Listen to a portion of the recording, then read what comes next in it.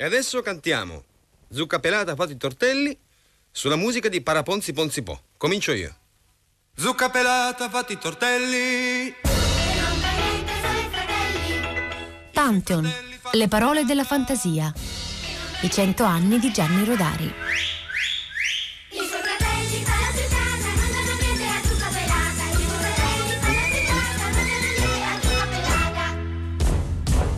Buon pomeriggio e benvenuti, eccoci giunti alla sesta puntata, quindi a metà strada per quel che riguarda questo ciclo di trasmissioni che stiamo dedicando a Rodari eh, nel centenario della sua nascita e a 40 anni dalla morte. Eh, come stiamo facendo sabato eh, dopo sabato, torniamo ad ascoltare la sua voce grazie alle registrazioni eh, conservate negli archivi del Centro Documentazione e Ricerca Educativa dell'istituzione Scuole e Nidi d'infanzia del comune di Reggio Emilia e grazie a Reggio Children. Nelle prime puntate lo abbiamo sentito svelare le sue personali tecniche per costruire giocattoli di parole, per poi passare ai giochi con le favole popolari, eh, nella precedente puntata raccontava i suoi sistemi per rovesciarle, sbagliarle e farne insalate. Tutte le puntate sono disponibili e possono essere riascoltate su Rai Play Radio.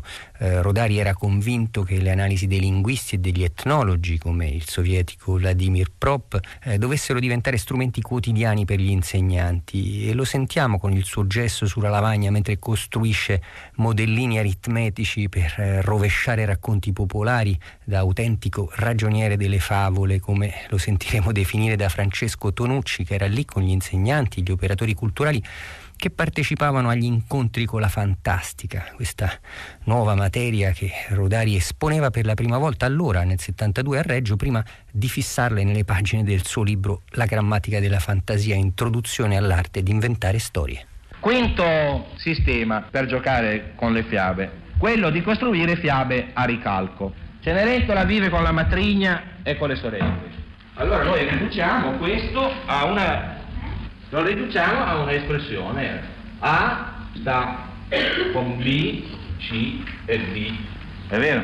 B, C e D vanno in un posto E e non ci portano A. Però A con l'aiuto di E, dopo E, F, con l'aiuto di F va anche lei Costruiamo insomma un piccolo modellino matematico della fiaba e poi sostituiamo a questa non è Cenerentola, questa è una povera ragazza di fabbrico rimasta orfana, senza genitore, così che è venuta a Reggio Emilia dove ha una zia che ha una tintoria e lei lavora in questa tintoria. Invece le figlie della zia vanno al liceo classico e non lavorano per niente nella tintoria. No? Questa storia io l'ho già scritta, quindi non, non, è che la sto inventando adesso. E proprio ho messo una tintoria, solo che stava a Modena invece che Reggio Emilia.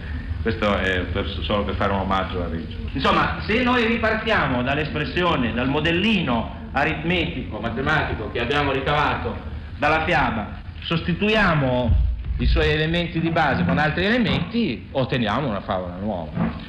Allora Cenerentola è questa ragazza orfana, lavora in una tintoria, proprietaria è sua zia, ci sono le sue cugine, non sono sorellastre, non usano più le sorellastre. Ci sono le sue cugine ricche, pettegole, che vanno sempre al cinema, lei invece no, e poi invece una sera loro vanno a una gran festa da ballo per l'8 marzo e lasciano a casa Cenerentola a stirare i vestiti della contessa De Tappetis e Cenerentola, Cenerentola no, questa ragazza di, di Fabrico che forse si chiama Marina o, o così, mentre lì da sola si mette questo vestito, ah come sarebbe bello e così via, passa un bel giovanotto per la strada, la porta alla festa dell'8 marzo e lì viene eletta Miss Fabrico, mentre le, le sue cugine...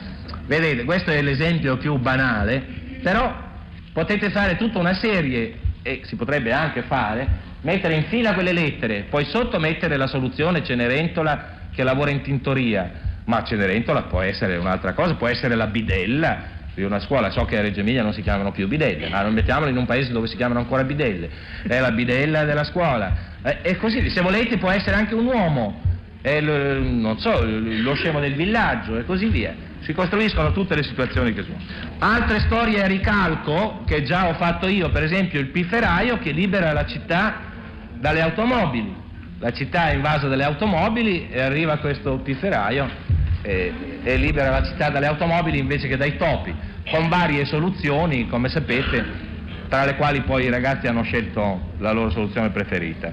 Se vogliamo, invece che il pifferaio, trasformiamo anche il pifferaio, ne facciamo un inventore. È un inventore che ha inventato un congegno particolare per cui la macchina, quando arriva al posteggio, sale su una specie di piattaforma di quelle che c'erano una volta nelle pese pubbliche. Si schiaccia un bottone e la macchina diventa piccola così. Così la possono mettere in uno scatolino e possono mettere 10.000 macchine nel posto dove ce ne sono. Dopo, quando esce dal posteggio, la tirano fuori dalla scatolina, la mettono lì, schiaccia di nuovo e diventa grande.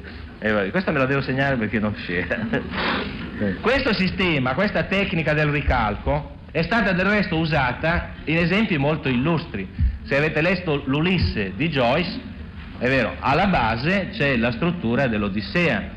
Non è che ogni episodio dell'Odissea e ogni movimento dell'Odissea è ricalcato, c'è una struttura di base su cui poi la fantasia lavora liberamente, non è obbligatorio ricalcare pedissequamente, se sono arrivato alla lettera E e poi la lettera F non mi dice più niente, mi tengo la lettera E, mi basta che il ricalco mi dia uno spunto nuovo e poi io liberamente vado avanti. È una tecnica produttiva perché stimola l'immaginazione a seguire e insieme a contraddire un certo filo, a scoprire una struttura e nello stesso tempo a trasformarla. Sono tutte operazioni logiche, non soltanto fantastiche. Io non so a un certo momento lì la differenza tra i, tra i due termini cessa arriviamo a un punto in cui il procedimento è lo stesso, non si può parlare più di logica logica e di logica fantastica, è la stessa logica che in situazioni diverse accetta di comportarsi in modo diverso. Qual è dunque il procedimento? Prima l'analisi della fiaba, costruzione del suo modellino, si riparte da un elemento che riunifica, che riorganizza questa materia e si ha la fiaba.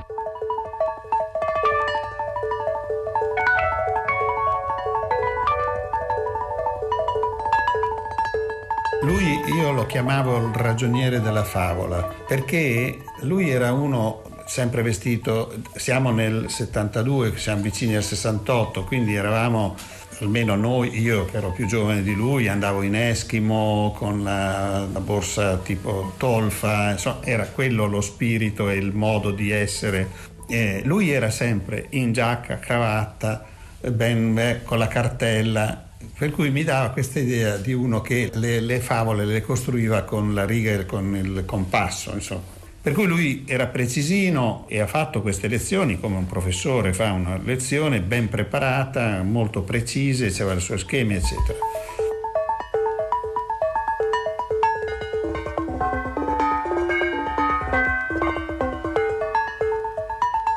Ecco un altro sistema molto più importante dei precedenti. La tecnica del ricalco ci porta a parlare di Vladimir Prop e del suo libro Morfologia della fiaba. Che cosa ha fatto Prop, che è uno studioso sovietico? Ha esaminato le fiabe popolari russe e alla fine di questo suo esame morfologico, cioè delle forme del contenuto, e al termine di questo esame ha formulato questi principi. Primo, che gli elementi costanti, stabili della favola sono le funzioni dei personaggi, indipendentemente dalla identità dell'esecutore o dal modo di esecuzione. Queste funzioni formano le parti fondamentali della favola. Cosa vuol dire? Nella favola c'è un eroe che parte. Non, non conta se quello che parte è un giovane o una ragazza, se è cacciato di casa, se è portato via come pollicino o cacciato come succede in altre fiabe, se è rubato. C'è questa partenza. Quello che importa è la funzione.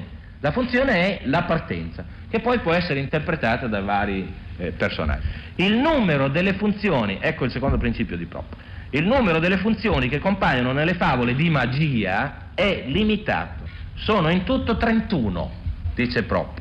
Analizzando le fiabe popolari russe, dice sono fatte di 31 elementi, variamente combinati, variamente presenti, 31 funzioni variamente combinate, in alcune fiabe particolarmente ricche ne sono presenti 20, 25, in altre più povere ne sono presenti 4, 5, ma le funzioni sono sempre quelle, dice Prop. Le fiabe sono costruite con la combinazione di queste 31 funzioni, ognuna delle quali è variamente articolata. Ora, se questa scomposizione delle fiabe in funzioni vi sembrasse un po' inutile, io vi invito a ricordare che Leonardo, per esempio, Leonardo da Vinci, ha fatto qualcosa di simile con le macchine. Prima di Leonardo, una macchina, qualsiasi macchina, era considerata una specie di corpo organico, unico. Leonardo ha analizzato le macchine, ha scoperto che sono fatte invece di alcune funzioni, cioè di alcuni meccanismi, mettiamo che ce ne sono 30, 40, 50 di questi meccanismi, che entrano variamente combinati in tutte le macchine. C'è il meccanismo di trasmissione, non c'è solo in una certa macchina, può essere in tutte le macchine. Ci sono i meccanismi che evitano l'attrito e allora non sono propri di questa macchina unica, è un meccanismo. Per noi è addirittura difficile immaginare che per gli antichi una macchina potesse essere un corpo unico, siamo abituati a capire che le macchine sono fatte di alcuni meccanismi, ma è Leonardo che per primo ha scomposto in, elementi o funzioni la macchina e ha studiato queste funzioni separatamente, per esempio ha studiato l'attrito separatamente.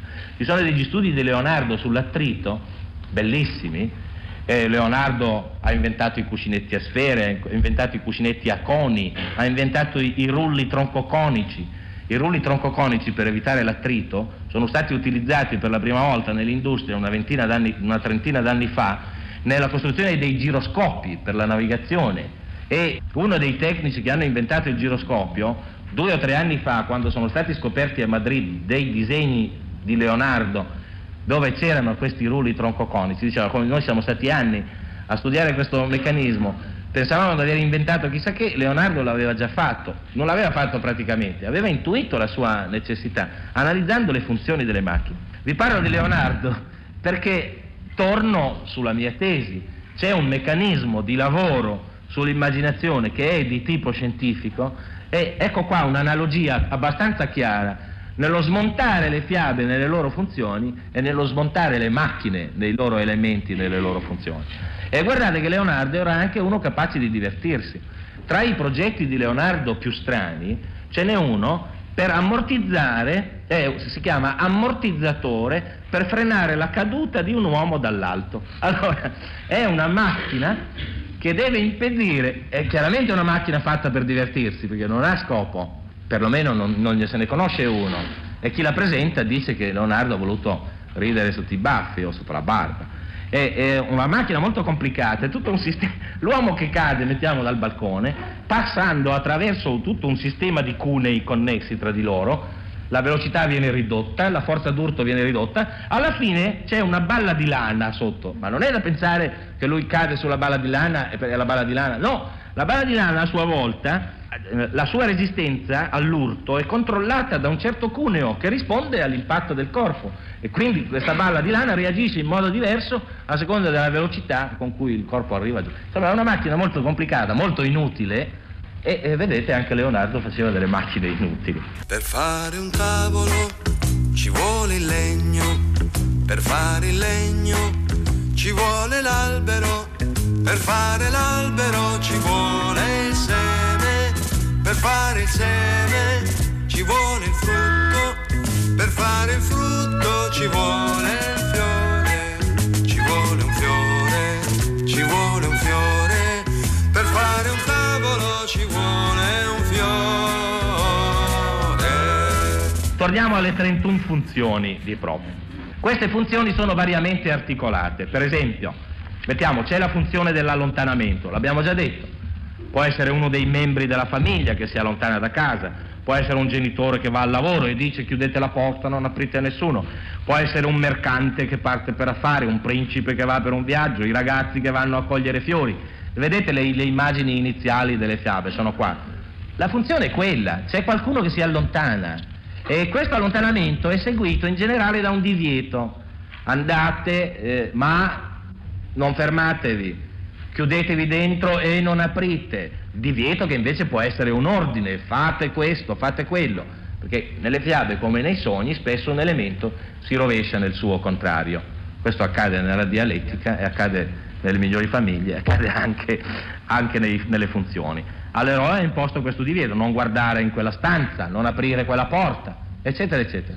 Ecco, per dire come la funzione si articola. Ora voi dovete immaginare 31 funzioni, ogni funzione con tutte queste possibilità di articolazione notevoli, praticamente infinite.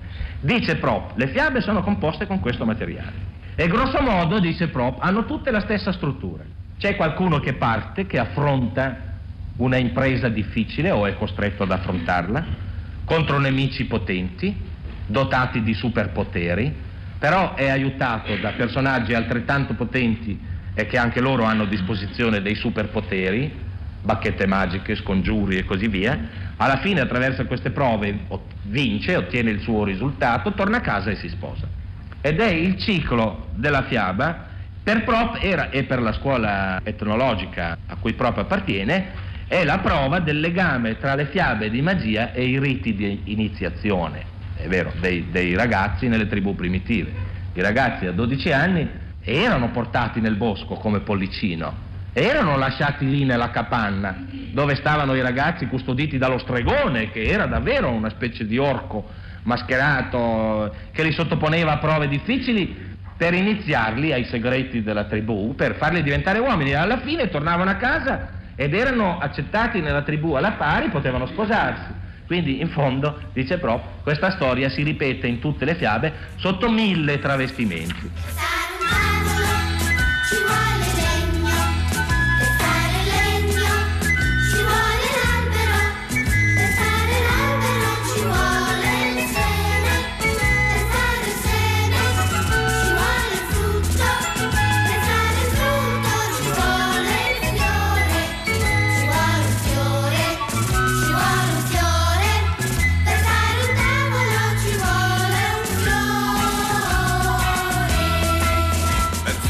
Queste funzioni noi le possiamo immaginare come carte da gioco.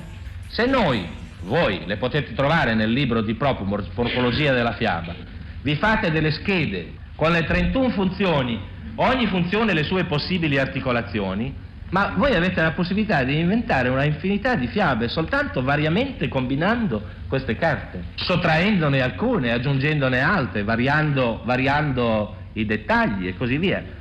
Pensate un po' al, ai film di James Bond, Missione Goldfinger, l'agente 07, Missione Goldfinger. Ma l'agente 007, Missione Goldfinger, è come qualsiasi altro eroe delle fiabe popolari. È incaricato di una missione difficile, di una prova pericolosa. Deve combattere contro quello là che ha il laser addirittura, quindi è un nemico, un mago cattivo dotato di superpoteri, a cui però risponde l'industria moderna, moderna fatta, che ha dotato James Bond 007 di certi superpoteri. La sua macchina spara proiettili, spara olio, produce, può andare in acqua, può fare tutte queste cose. Alla fine ci sono queste prove, il meccanismo un pochino è quello delle fiabe e eh, alla fine James Bond trionfa e si sposa. In generale non si sposa, passa una settimana in un'isola del, de, delle Antille con una grande bionda o con tante bionde, ma insomma il finale è poi sempre quello, è quello delle fiabe. Io sono convinto che le abbiano anche adoperate coscientemente le fiabe per fabbricare trame di film d'avventure, però voglio dire, se non l'hanno mai fatto lo possiamo fare noi. Ora, qual è però la questione, la cosa da ricordare? La infinita possibilità di variazione all'interno di ogni funzione. Prop ha eh, analizzato le leggi che sembrano governare queste trasformazioni e dice si hanno trasformazioni per riduzione. Per esempio dice in una fiaba c'è la formula completa, l'eroe va nel bosco e trova una capannuccia su zampe di gallina. Allora ecco la formula completa, una capannuccia su zampe di gallina nel bosco. In un'altra fiaba c'è solo una capannuccia su zampe di gallina, non c'è il bosco. In un'altra c'è una capannuccia nel bosco, sono scomparse le zampe di gallina. In un'altra c'è la capannuccia, in un'altra la capannuccia non c'è più, si parla solo del bosco, ma è il meccanismo di riduzione. Poi c'è un meccanismo di amplificazione. Allora, la capannuccia su zampe di gallina nel bosco con le pareti di frittelle e il tetto di pasticcini. Ecco, se voi volete una variazione per amplificazione della storia di Capuccetto Rosso, c'era una bambina che si chiamava Capuccetto Rosso perché era tutta vestita di rosso. Aveva il cappuccetto rosso, aveva la mantellina rossa, aveva la vestina rossa, i calzoncini rossi, le mutandine rosse, le calzine rosse, le scarpe rosse e poi penseranno i bambini a continuare questa litania e questa variazione per amplificazione. Per sostituzione, al posto della capannuccia nel bosco può comparire un palazzo nel bosco, è sostituito, o una grotta, c'è la sostituzione. Un altro meccanismo è quello della intensificazione. L'invio dell'eroe per fare una cosa può essere la cacciata. Per fare un fiore ci vuole un ramo, per fare il ramo ci vuole l'albero, per fare l'albero ci vuole il bosco, per fare il bosco ci vuole il monte, per fare il monte ci vuole la terra, per fare la terra ci vuole un fiore,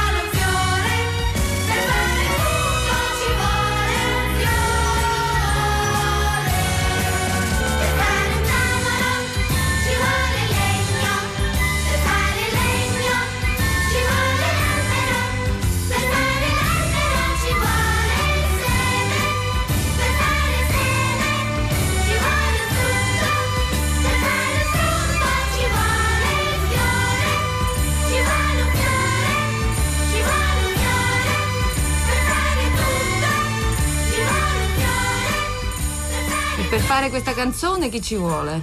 Gianni Rodari. Eh? No, no, no, io ho fatto solo le parole, la canzone di Sergio allora per fare le Endrigo. parole di questa canzone. Eh, la canzone è molto bella, ma è bella perché la musica è bella. Le parole sono solo un ragionamento. eh.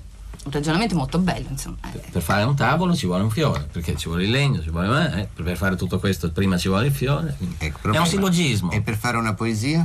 Per fare una poesia ci vuole un vocabolario. no. vocabolario? Beh, Vediamo un po'. Sì, no, non scherzo, io spesso lavoro col vocabolario. Per esempio l'altro giorno mi divertivo, il, vocabolario è un libro divertente, no? Sì? Molto.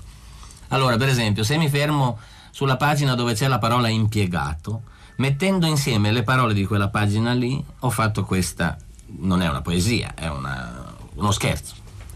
L'imperatore, l'impiegato, l'impiastratore, l'impiccato stanno nella stessa pagina e non si dicono mai buongiorno, come va?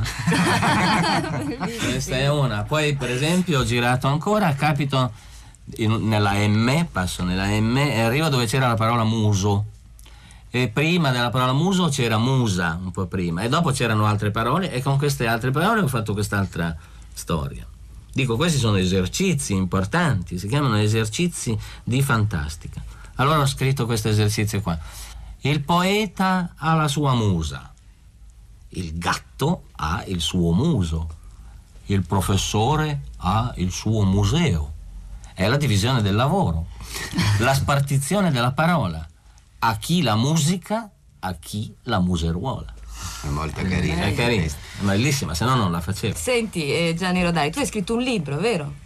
Su come, no, no, un libro su come, come Ah sì, uti- su come si inventano le storie come ho si inventano le storie. Sì, che si chiama Grammatica della fantasia. Che è indirizzato ai maestri, ai genitori, ai vescovi, insomma a chi, lo- a chi ha bisogno di, chi ha bisogno di di inventare storie, prende questo libro e trova molti sistemi per inventare, tra cui anche quello di guardare il vocabolario. E poi anche molti, molti altri modi. Ce ne sono almeno 30 o 40. Senti, con l'elenco telefonico si può fare niente. E con l'elenco telefonico si fanno drammi con troppi personaggi. Ho capito. A cercare i nomi dei suoi personaggi sull'elenco del telefono era Simenon, uno degli autori a cui abbiamo dedicato un eh, recente ciclo di questa trasmissione. Rodari, da bravo artigiano della parola, usava il vocabolario per i suoi esercizi di fantastica. Abbiamo sentito ricordarlo a Enzo Rava e Stefanella Giovannini che lo intervistavano nel 78 alla radio. Era una delle tecniche della grammatica della fantasia. E adesso noi ascoltiamo Bruno Tognolini, uno dei nostri eh, maggiori autori di poesie, filastrocche per bambini e non solo, anche autore di romanzi, sceneggiatore, eh, un suo omaggio personale, poi ci mette sull'avviso del pericolo sempre in agguato di fronte a un maestro come Rodari. Ecco una filastrocca che mi è accaduto di scrivere in onore di Gianni Rodari. Mia figlia si svegliava con le tue rime in musica. A tua figlia dicevi fiabe ad alta voce. Anch'io a mia figlia leggevo ad alta voce. Ho studiato con tua figlia all'università. Il mio mestiere è diventato il tuo. C'è un fiume di padri e di figli, di rime e di fogli. C'è un giro di grandi stagioni, di madri e di mogli. C'è il rosso coraggio delle primavere. Le figlie son vere, le fiabe son finte, ma tu non temere, le guerre che hai perso son vinte.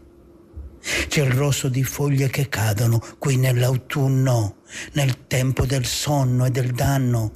Le foglie son vere, le figlie son molte, le rime che lasci cadere son state raccolte. E ormai dureranno le estati della filastrocca. La gente ora sa che sapevi suonare. Suonare ci tocca. Ti abbiamo seguito, abbiamo accordato la rima. Le fiabe son vere, c'è un nuovo mestiere che non c'era prima. I poeti per bambini intagliano teatrini del mondo. I poeti per bambini costruiscono giocattoli dell'anima. I poeti per bambini sono piccoli zii per i figli di tutti. Contro i grandi fratelli ignoranti, meschini e corrotti, tutti noi stamburanti di rima, tutti noi musicanti di brema, noi poeti un po' gatti, un po' galli, un po' cani e somari, camminiamo sulle strade aperte da Gianni Rodari.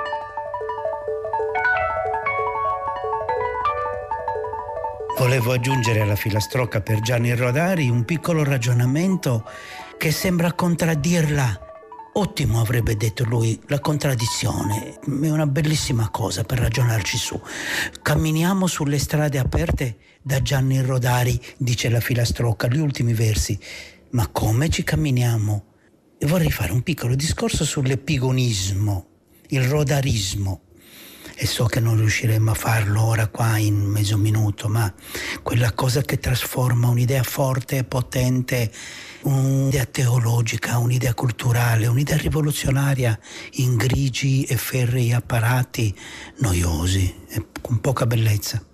Io giro le scuole italiane da 25 anni e non sento altro che rime e versi di natura paraeditoriale, direi, non sono su libri di poesia, non su tutti, sono sui libri scolastici scritti dalle redattrici, sono scritti dalle stesse maestre eh, per i loro alunni, sono presi da Facebook, ognuno si mette lì a rimare e mh, fa la rima fra la guerra e la terra, dice che non vogliamo più guerra su tutta la terra e che vogliamo la pace perché ci piace. Ecco, io credo che se Rodari oggi ritornasse, non dico come Gesù Cristo sul Tempio, ma e vedesse queste poesie civili che si ispirano a valori forti e splendenti, trasformate oggi in poesiole non educative ma edificanti come quelle del secolo scorso, che i bambini dicono per disciplina, perché così la maestra è contenta. Ecco, non sarebbe per niente contento Rodari lui e mh, combatterebbe, forse metterebbe alla berlina queste- questo stesso rodarismo.